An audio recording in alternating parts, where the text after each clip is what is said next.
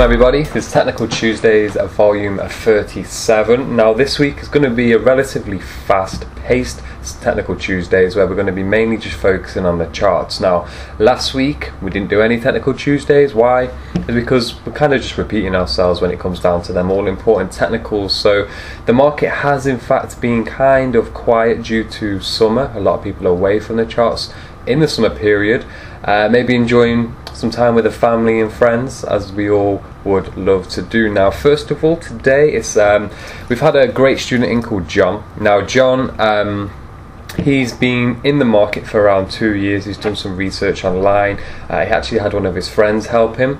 And when John came in, the first thing we like to do is test the student on the chart uh, to see what the strengths are, what the weaknesses are, and so on. Now, John, his his information was a little bit scattered and all over the place. So uh, today, as you can see, we've been um, giving him steps and some guidance in in what to do on the uh, charts and the trend lines and so on. So here, as you can see, we have steps for everything we do.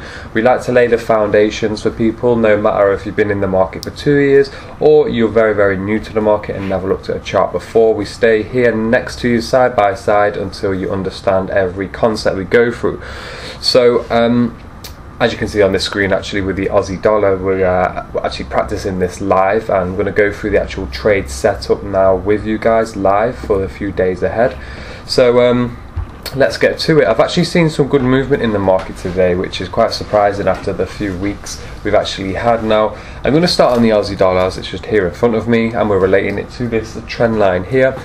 The trend line on the board is in fact an ascending trend line and the actual rules to trade uh, a simple trend line bounce. And we do have it in front of us here but in a descending format. So Aussie dollar overall um, monthly chart I'll just show you the monthly. Um, on our monthly chart we have uh, bearish sentiment overall. Moving averages they assist us in the trend direction if for you guys who are new to the videos. Weekly as you can see our lower highs and so on indicating yeah we are in a bearish trend. Very very simple. And then coming down to the daily chart recently um, we did in fact break the 0.7550 key area of monthly support which uh, the currency was actually riding on for quite a while. So um, with that being said, as you can see our next key level was the weekly support. And again today we actually finished with John and we gave him some steps on how to find target zones and multiple confluences for targets. And um, the example here I think this we actually went through this on I think it was volume 34 or volume 35 on Technical Tuesdays when this was just occurring. So we've hit this key level and we've rebounded a little bit. Now the fourth bounce of the trend line here here's the third one and here's the fourth. The fourth normally expects some choppy behaviour, some false breakouts and so on. And we can see this is very evident that we um, tried to break up, break to the upside. However, today's candle from top to bottom, we've lost around 150 pips from the open price. Um, this is a bearish engulfing candle, and we've engulfed one, two, three, four, nearly five, six days um, of price action, and it's also a morning star. One, two, three.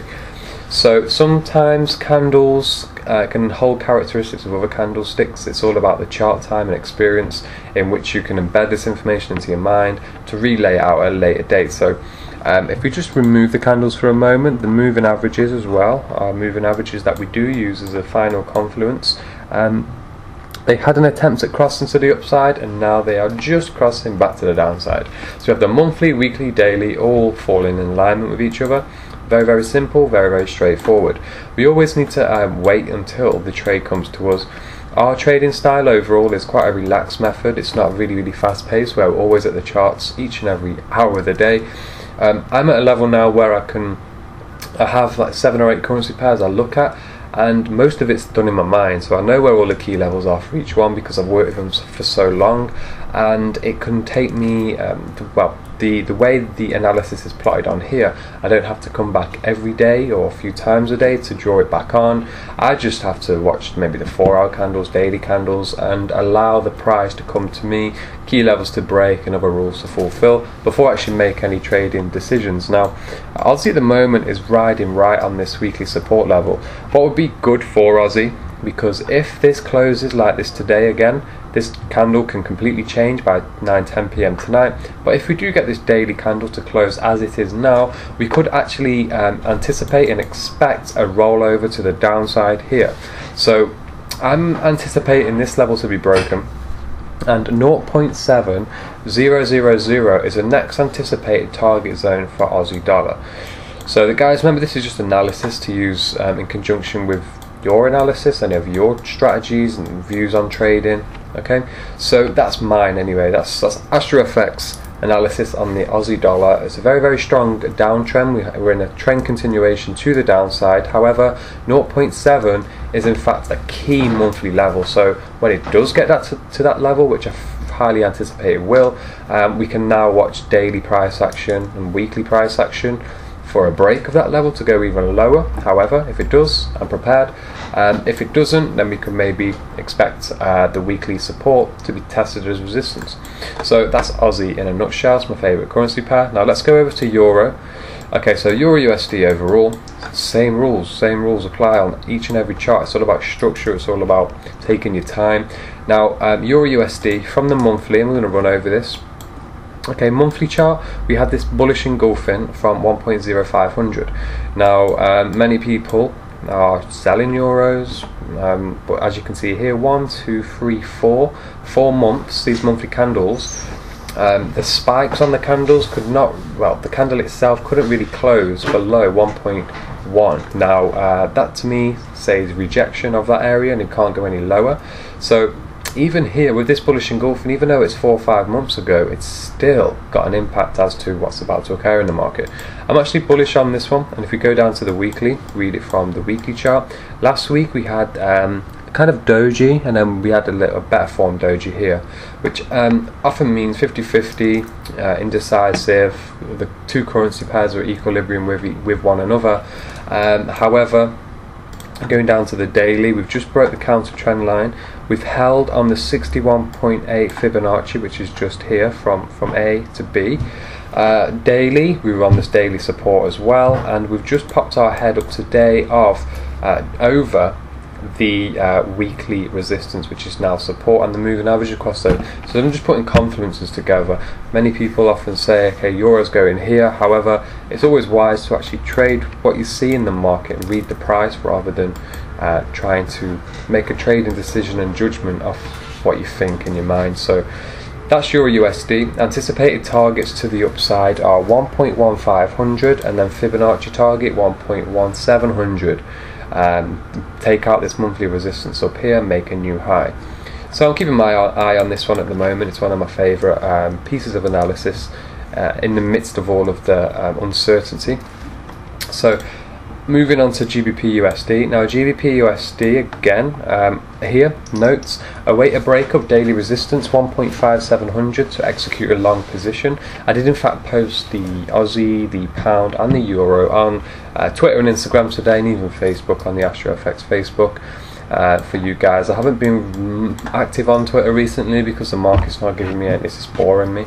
So um, we have been putting our time and effort into other things that we've been doing recently in terms of business and so on. So uh, GBP USD at the moment, we are holding above monthly support 1.5500 and also to me I've circled this here because this bullish engulfing may be the confirmation of it's a new higher low.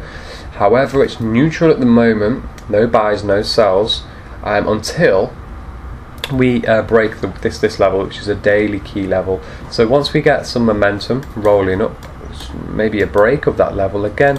Uh, I would like my moving averages to cross up to the uh, cross back over to the upside and that key level to be broken.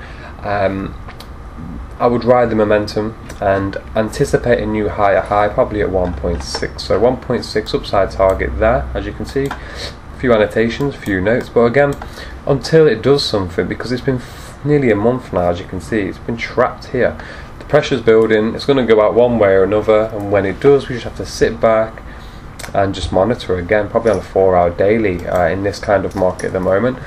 So I hope that helps. Now, Euro JPY, um, I haven't looked at this one on Technical Tuesdays for a while, however, I've spotted in the last few days a little bit of momentum here, one, two. Now, uh, same thing, trend lines Um, we have popped our head above monthly resistance, which is now support 136, 130, yeah, yeah, 136. Um, overall, I will anticipate. I think we the, we just had the crossover. Yeah, we had the crossover just here. So I am actually anticipating the Euro JPY to continue its bullish uh, momentum and maybe come back up to test 141. Um, we, as you can see, it's struggling here on this daily slash four hour piece of resistance. Okay, it's a very, very minor area, but it is reacting to it at the moment. If we do get a breakthrough here, uh, by all means, I do think that the market can actually come up 140, 141. I would monitor, monitor, monitor the pair around here. Um, there may be a chance for 146, but I'll cross that bridge when it comes to it. So. Um, I don't see why you would sell this pair right now. Um, weekly as well because we were consolidating for a while. We had many gaps in the market. Is all over the place as you can see here. But there's no reason to actually go ahead and sell this in my books at the moment. Um, I do think four hour we're going to anticipate further strength of the euro against the yen. So mm, it's one of those ones to watch but it's picking up some momentum from from as you can see here many many gaps up down all over the place. But yeah one day, two nice days of bullish momentum. So brings me on to USD JPY now. USD JPY, that's this is the last official higher low in the pair. That's the last official higher high. So there's a high probability chance that I'm going over this with a student. This was the last one we went over today. See this level here, 125.82, say.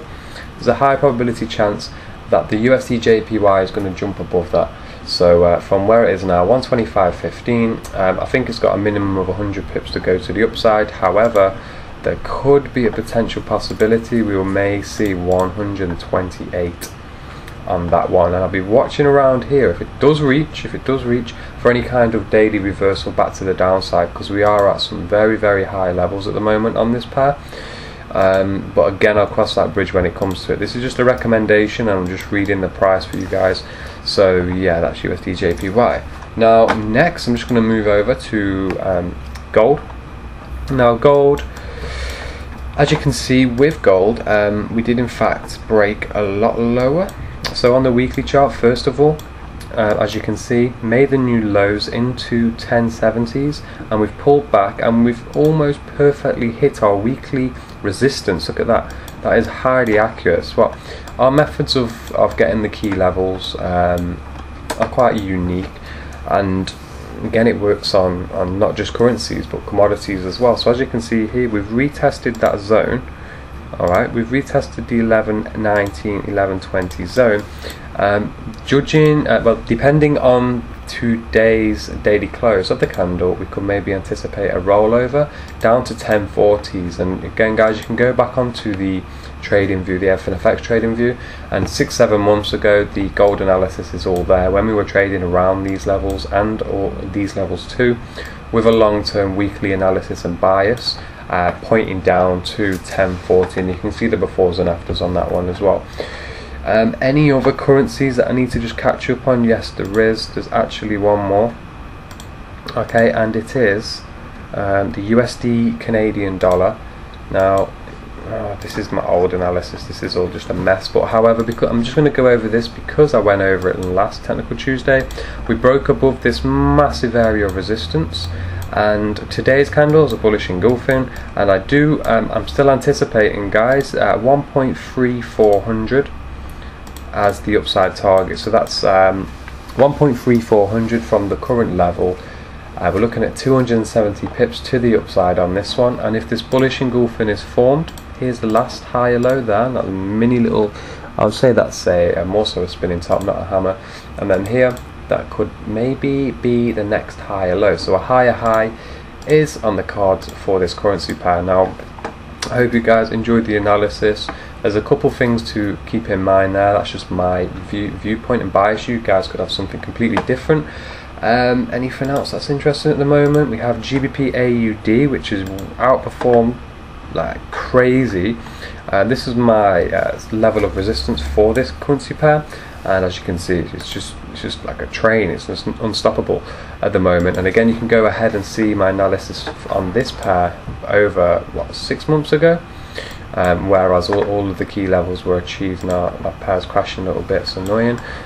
So yeah, USD JPY bullish, Euro JPY looking bullish, Aussie bearish, great setup there, and GBP USD is bullish, but it's just playing around, and then same with Euro as well. So indecisive slash giving us an opportunity to uh, maybe capitalize on some buy trades. So that's that, guys. Um, Hope you enjoyed that analysis, and we're going to be back next week with a topic as per usual. Now, we have some work to do, working on quite a few things at the moment, doing some long shifts, but it's all well and good. So, um, yeah, we'll speak to you again soon.